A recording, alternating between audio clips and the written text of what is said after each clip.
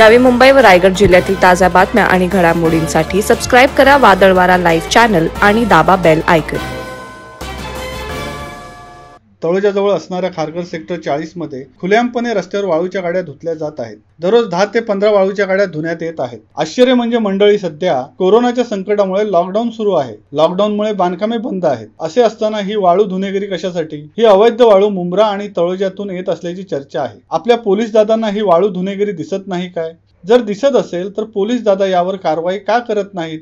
असा खारघरवासियांचा सवाल आहे. नवी मुंबई व रायगड जिल्ह्यातील ताज्या बातम्या आणि घडामोडींसाठी सबस्क्राईब करा वादळवारा लाईव्ह चॅनल आणि दाबा बेल आयकन